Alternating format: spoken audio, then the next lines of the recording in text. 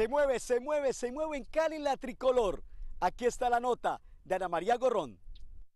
Se pone bueno el asunto con 90 minutos. Hola, ¿qué tal? Muy buenas tardes. Un saludo muy especial para ustedes. El partido que se juega mañana a la tricolor requiere de mucha fe por parte de los colombianos.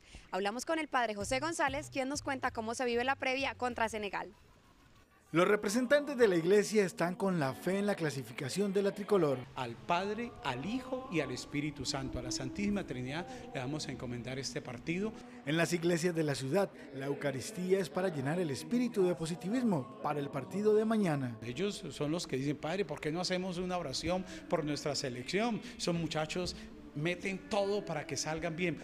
A kilómetros de distancia, el padre José González envió la bendición a los jugadores de la selección. Creo mucho en James, creo en Falcao, en Cuadrado, todo ese grupo. Es que es un grupo muy bueno y que mi Dios los bendiga.